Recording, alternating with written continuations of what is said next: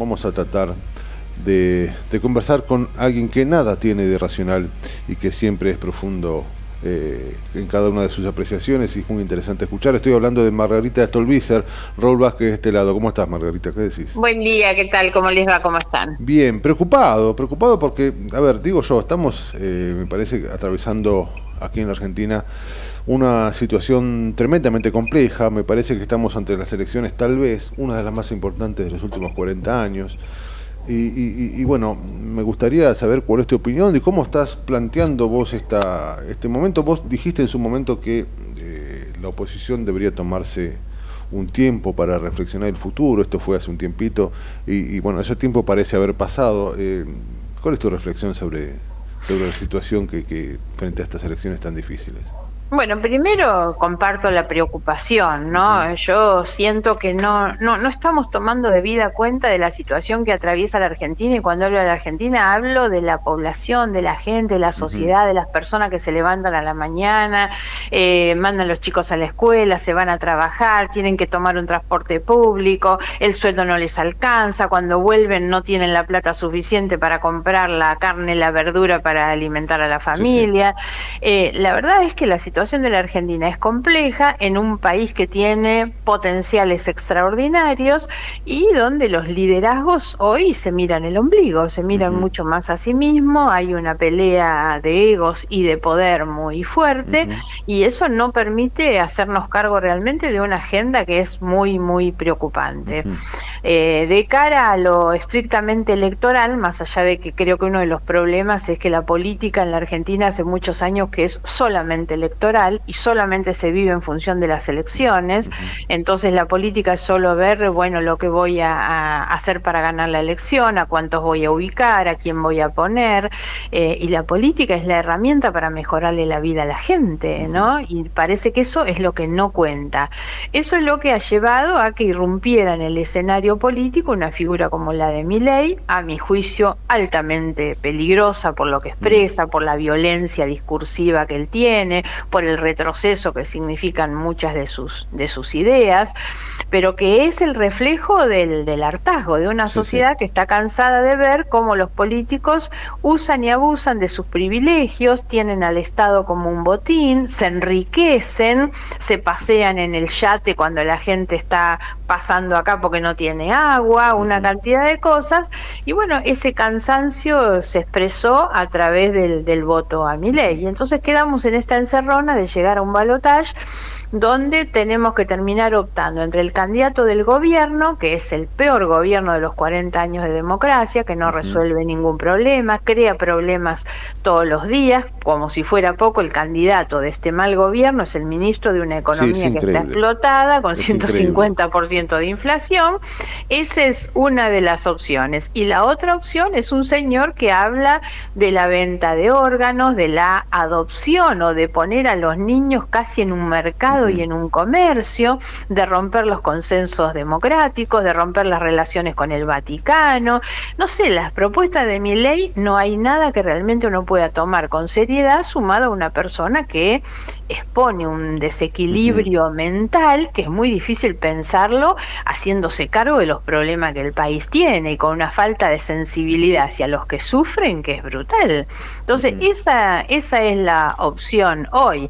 En pasando esto al terreno estrictamente de las definiciones, bueno, nuestro partido ha dicho no podemos acompañar a ninguno de estos dos candidatos, porque si hace meses que venimos notando sobre esto, y bueno, hoy no nos vamos a hacer cargo nosotros de bendecir a ninguno de estos, las personas irán y votarán lo que prefieran, pero nosotros institucionalmente no lo vamos a hacer, ¿no? Recuerdo, Margarita, alguna vez, eh, bueno, no, no digo que fuiste aliada, pero sí estuviste cerca de Sergio Massa cuando enfrentó en su momento al kirchnerismo y hoy estás siendo parte de Junto por el Cambio y me gustaría tu opinión respecto a qué te pasó esa mañana en la que Patricia y, Petri plantearon este, la idea de aliarse con, con Milei, que después se rubricó con un encuentro este, entre gallos y medianoches, como se dice siempre en la casa de Mauricio Macri, con algunos pocos este, dirigentes que plantearon, por fuera de lo que es la coalición, generar esta suerte de, alianza o de sostenimiento de, de, de. ¿Qué te pasó por la cabeza cuando viste que una vez más tal vez y ahí está la pregunta, este, sufriste un desengaño en ese sentido. ¿Qué, qué, te pasó? Sí, a ver, dos eh, aclaraciones. La primera respecto de Massa, yo hice una alianza electoral única vez en el año 2017. Massa venía de enfrentar al kirchnerismo en el 2013, él gana la elección en la provincia de Buenos Aires, en el 2015 que los enfrenta como candidato a presidente, y eso permite que Macri gane la elección, por eso hoy hay que poder hacer ese análisis de lógica matemática, eh, que es Macri ganó con un peronismo dividido. Cuando eh, Massa volvió al, peronismo, ya después era muy difícil ganarle, ¿no? La única elección que yo estuve con Massa fue esa, cuando Massa decía que iba a meter presos a los corruptos. Dos años después decidió aliarse con los corruptos y obviamente yo ahí no tengo nada que, ver. Por lo tanto, yo no reniego de lo que de la decisión que tomamos en su momento, porque en su momento Massa los enfrentaba y nosotros fuimos con él enfrentándolos. Esto, ¿no? es una chicana periodística, y no te lo decía para refregarte mucho menos, pero sí a partir de tu experiencia. Siempre me parece, siempre me parece que es importante esto. Y la otra aclaración también es que lo que ocurrió la semana pasada es realmente muy, muy llamativo, de mucha defraudación. ¿Por qué? Porque la elección es el domingo Patricia era nuestra candidata de todos nosotros. El lunes a la noche ya se hace la reunión esa en la casa de Macri con Patricia y con Milei. El lunes a la noche y el martes Patricia lo anuncia sin haber hecho ni una sola reunión ni con los partidos que integramos Juntos por el Cambio ni con su propio partido por algo el propio Larreta dijo, fueron a una reunión secreta, a escondidas, eh, eh, como ustedes decían, entre gallos y medianoche. Sí, viste que todo lo que no se puede decir es porque algo no lo tiene, ¿no? Para sellar eh, ese acuerdo que es incomprensible, porque hasta Patricia podría haber forzado una reunión de Juntos por el Cambio, haber expuesto ahí su, su posición y hubiera sido escuchada, y hasta podría haber tomado la misma decisión, pero después de dar una discusión y no que nos enteramos a través de una conferencia de prensa lo que ella ya había decidido y había arreglado, digamos. Entonces, eh, estoy muy, muy preocupada por esto porque si algo, así como les decía, el PJ tiene ese valor de su propia unidad que los hace casi invencibles, cuando Massa se une con el resto del PJ era imposible ganarles, de la misma manera nosotros teníamos que cuidar nuestra unidad, la unidad de Juntos por el Cambio tenía un valor estratégico aún para hacer oposición, porque frente a cualquiera que gane, sea Milei o sea Massa, lo más importante es tener la fortaleza de una coalición unida para hacer la mejor oposición, porque acá nadie va a tener mayorías. Entonces, ¿qué más podíamos querer que que Juntos por el Cambio tuviera a través de sus 10 gobernadores y de los dos bloques en el Congreso las fuerzas mayoritarias para eh, ejercer ese papel de oposición. En cambio, se terminó desmantelando esa, esa oposición, ¿no? Nos ha vuelto, por supuesto, mucho más débiles. Genera además este sentimiento de traición, de defraudación dentro de la propia fuerza de quienes hasta hace una semana acompañamos a nuestra, a nuestra candidata, ¿no? Así que es bastante difícil. A mí lo que me anima, digamos, un poco es pensar que va a haber un Congreso más equilibrado, nadie va a tener mayorías absolutas y bueno, entonces va a ser un Congreso donde seguramente se van a tener que dar los diálogos, la, la, conformación de acuerdos, digamos, porque nada va a poder funcionar por una sola fuerza política. Sí, el, Congreso es verdad que puede dar este cierto nivel político, digo, más allá de, sus, de, cada uno de los personajes individuales, pero sí creo que va a obligar un poco a hacer un poco de política de la buena, ¿no? Ojalá digo, a partir de lo que pueda suceder. me quedo pensando en lo que puede ocurrir, porque algunos pregonan el voto en blanco, otros pregonan no ir, otros te dicen que votar en blanco es votar a masa, otros te plantean, bueno, obviamente votar a mi ley, otros plantean votar a masa y demás. Eh, lo que viene el 11 de diciembre a partir de esto, que me parece a mí que tal vez genere un gobierno, no digo débil, pero sí este, con algunas miradas eh, muy distantes y difícil de, comprender. Digo, lo, que se viene es complicado gane quien gane, ¿no? Eso desde ya. sí, porque está complicada la Argentina, en realidad. De todos modos, la fortaleza o la debilidad de los gobiernos dependen eh, de su capacidad de respuesta frente a los problemas. si el que llega se hace cargo y resuelve las cosas, eh, digamos que eso es lo que le va a dar la fortaleza que tal vez no le haya dado el resultado electoral, ¿no?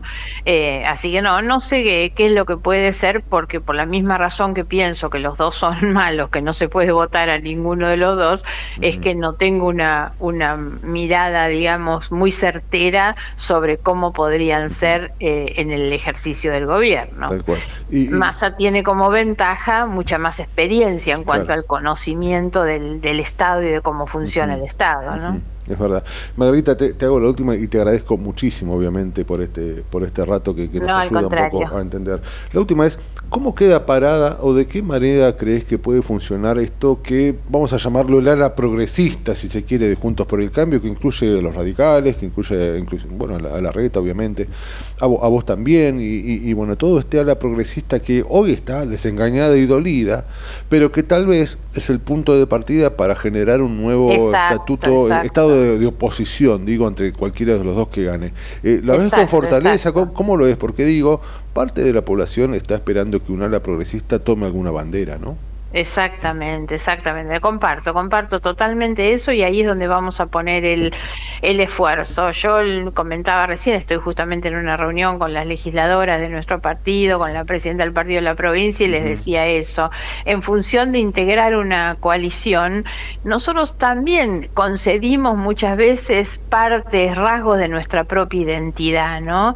Entonces, bueno, es tiempo ahora de pensar en cómo reposicionar un partido progresista, socialdemócrata, como el nuestro, en el marco de lo que va a ser la reconfiguración de una coalición, donde eso tiene que ser un ingrediente. Yo insistía desde hace mucho tiempo que nosotros necesitábamos eh, estar representados por un proyecto humanista, progresista, porque la verdad es que la política Ahí es donde tiene tanto pragmatismo. Tal cual. Ahí es Margarita donde posiblemente entran algunos de los eh, gobernadores eh, radicales que eran parte de Junto por el Cambio que acaban de ganar. ¿Sobre esa base también se puede trabajar? Sí, yo creo que eso es muy bueno, por eso decía, lamento que se haya desmantelado esa unidad que tenía que tener Juntos por el Cambio para ejercer la oposición, ¿no? Y esto que podría ser una liga de gobernadores es muy importante y no diría solamente los radicales. Yo creo que ahí vas a tener un líder muy claro como es Frigerio. Ah, eh, Rogelio Frigerio es eh, un líder del PRO, pero una persona muy formada, con experiencia en el, en el Estado. Realmente creo que hay que poner un poco los ojos ahí, de la misma manera que Poggi en, en San Luis. Yo creo que hay, ¿eh? en los 10 eh, nuevos gobernadores que va a tener eh, Juntos por el Cambio, mirando incluso la declaración de los gobernadores de la semana pasada, fue una declaración muy buena, porque ellos diciendo no apoyan a ninguno, pero plantearon en su declaración una cantidad de contenidos sobre cómo debería ser el próximo gobierno que me parece que eso estuvo realmente muy, pero muy bien, ¿no? Así que sí, hay que mirar sin ninguna duda eh, ahí porque eso va a ser un, un, ámbito, digamos, de ejercicio del papel de oposición y una oposición razonable porque son los que tienen que, gestionar todos los días. Exactamente. Margarita, te agradezco muchísimo, como siempre, sos muy amable en entendernos. Gracias a, ustedes, muchas gracias a ustedes. Hasta Un beso grande, gracias. Era Margarita Stolbizer, ¿eh? ¿eh? diputada nacional, hablando tal vez del futuro de la, progresista de Juntos por el Cambio y generándole también una idea de futuro.